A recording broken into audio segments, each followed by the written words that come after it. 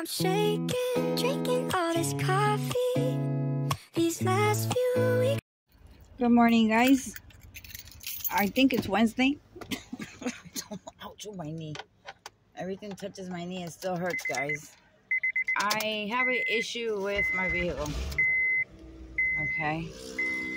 And it's restricting me from going anywhere. I am restricted right now, guys. Okay, I am restricted to driving my vehicle. And that's a big issue because you need your vehicle. Okay, so we're back. As you can hear, see if you can hear that knocking noise.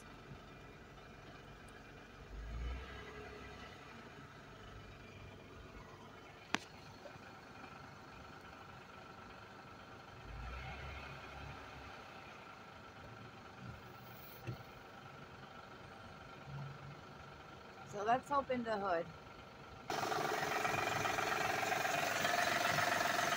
And it looks like it's uh, a screw that holds the belt. Okay, guys? Got water on my head. Thanks. Okay, um, the oil change guy, he broke my, my cover. Okay, he broke my cover. This is the cover to um, my uh, where you do the oil change and spark plugs and whatnot. So he he broke my cover, guys. Okay, so the noise is coming from the belt. Okay, the belts are loose. Uh, it's not as tight as it's supposed to be, and they want to charge close to four hundred and twenty dollars okay, to get those belts tight so it doesn't make that noise. It sounds like it's the engine, but it's not the engine, guys. And then they'll fix uh, these screws. This is plastic, guys. Let me show you where this goes. That goes in uh, that little square rusted part here. But they broke this, um, this, the piece that goes under that snaps onto that square piece I just showed you. So the noise is coming from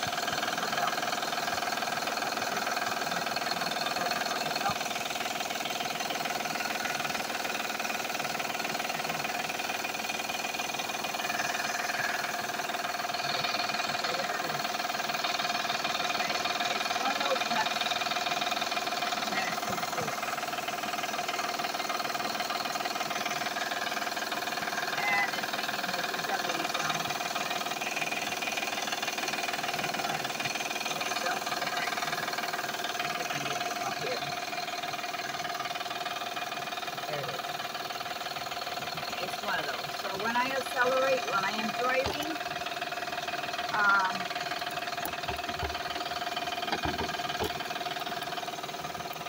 okay, this one snaps, but it's missing also a, a, uh, a snap back here. Okay. So, that's an issue. I can't drive like that. And everything else is okay, guys. Let's accelerate this baby. I had an oil change done last month. Can you hear it, guys?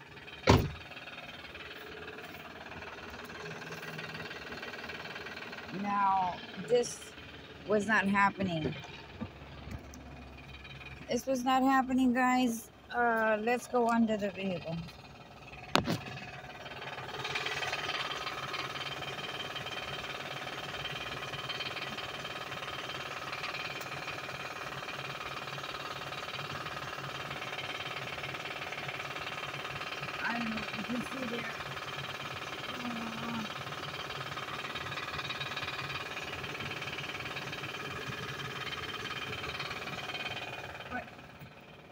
You can hear the noise. So as I accelerate,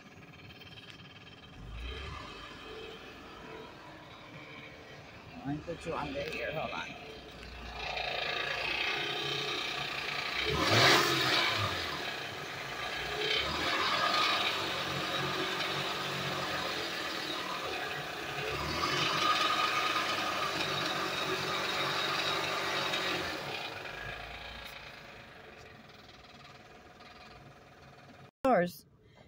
Has an issue. So I found a mechanic that was recommended. He's the one that inflates my tires when I need air tires. So I kind of, you know, kind of bond with the with the mechanics there. You know, it's a small shop um, because I noticed that most of the shops around here are big. They want you to leave the vehicle. Oh, you have to leave the vehicle so we can check it. And that's a that's a that's a, a red flag for me. Uh, they're gonna find all types of issues to to um, charge you, overcharge you because of the inflation. They got their bills to pay. You don't know what's wrong with your car. You're not a mechanic. So you'll never know. That's a problem. And that is my problem right now. And I have I have four important appointments that I have to schedule. And I have no way to get around. Okay. So I haven't made the appointments because I have no way to get around with this issue. Um, if I get stuck out there with those belts, I will I will I will need a tow. Okay? And then I would need I can I can get one tow, two tows. I can tow my car wherever I need to. Um, that will be um, a big issue. So I if it, as long as it's drivable right now, I mean not drivable. I'm saying that if I have to drive to a mechanic shop, I'll make it there with all this dinging and a danging noise. Um, let me get this cover back down. I just want to go down and check it again. It has the oil change. Okay. It has uh, oil change, uh, synthetic.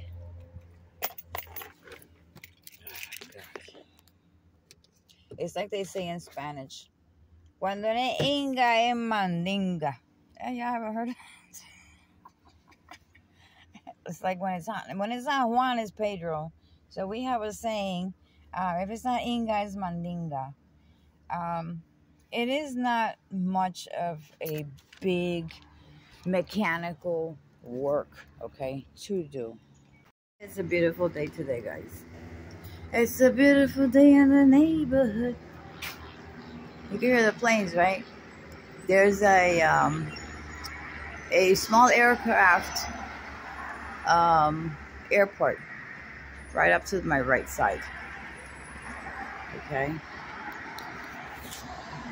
And that's my entertainment right there, the highway. The road. Welcome back, YouTube family. Um, glad to have all of you guys um, someone knocked on my door. I'm gonna. I, I was making a video and I got a knock on my door, and I paused it. I'm still gonna upload that video. Uh, and I opened it. I looked at the peephole. There was no one. So I opened the door, and no one's out there. Just as quick as they knocked, I was over there. I went down the steps to see, look downstairs, no one. Uh, walked up to the sidewalk, looked around, see if anybody was walking away or something. No one. So I I left behind my ring doorbell. Okay. I have the mini blink that I can uh, hook up from the outside of my door, but that that goes screwed on and with the blink, the little mini blink that I have, it just snaps onto that little hole so anyone can just remove it. So it's not a good idea to put, uh, to screw up at the top of the door frame from outside. So, and I left my ring doorbell behind, okay, in New Jersey. It was in a bag. And, uh, it didn't come with me, or I would have had it installed. So the mini the mini blink camera is not the one for out here. It would have to be the ring doorbell, which I um I had it at my uh uh wired to the doorbell when in the apartment I had in New Jersey. And besides that, it had a, a case that you couldn't take it out from there. So I'm gonna have to do something to get another one um, to mount it here um, because I already had that encounter. Okay, it's strange, guys. It's strange. So anyway, not gonna give it pay it too much mind because I do have a little peephole there. Um, but it's still strange. so to be on the safer side, I don't have a doorbell. There is no doorbells um, in these doors here. Uh, a doorbell mounted outside would have to be battery operated. That wouldn't do me any justice either.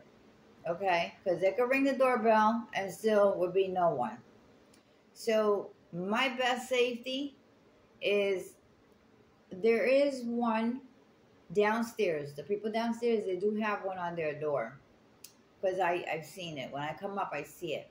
So I'm gonna have uh, down the line. I'm gonna put one here because it automatically gives me notification on my phone anywhere I'm at, if I'm home or not. Um, I can see okay who's out there or who is approaching? And that would be safer okay because i mean i have a maze okay uh, by the door uh, but sometimes you don't think okay? Uh, and it could be my daughter that's home i mean this is a safe area but you're not you can't say you're safe safe and just let it go at that. You always gotta have that the back of the mind uh, it could be anything okay? Or anyone or who knows or what the intentions are. So guys um, just to let you know i'm gonna go back to the video and uh, i forgot what i was making a video about. I was facing the door. I was not sitting in this position. I was on the other side of the table facing you could see the door. I can see the door through the the the cam. And on the video, if I heard it, you must have heard it on that video. So let me see if I can get back to that video and load it up. So uh, I um, I uh, was looking for my um, wireless mic. I know I have it in a safe spot. Um, and it was in my laptop bag. Okay, my the bag, the laptop carrier bag. So it's charging. I thought I had it in my van. Okay, because normally I would make videos in the van. Uh, uh, some from indoors in that garage apartment I had. What apartment? Uh, was that was a, a she shed. Okay.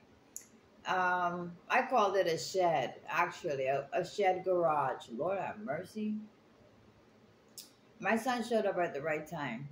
But you know what? I feel so bad because it, it cost him a lot of money to get me in here. But um he's a good kid.